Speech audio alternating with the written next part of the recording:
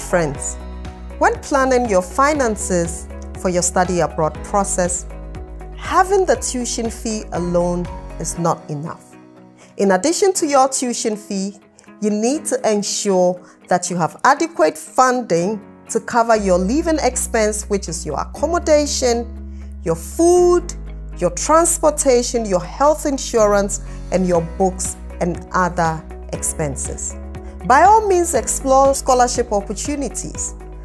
If it does happen and you get a scholarship, that becomes a bonus. But there are no guarantees. So I admonish you that before you start your study abroad process, ensure that you have the right financial backing. That way, your process in planning will be smooth and to an extent stress free.